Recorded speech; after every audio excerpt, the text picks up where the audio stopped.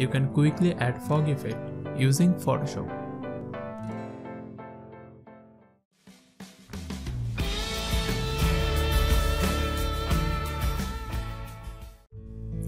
Welcome to another Photoshop tutorial. Today we are going to show you how to add fog effect to your photograph. Definitely you can use fog overlay but it's always better to create it in Photoshop. So let's make fog effect in 3 minutes thank you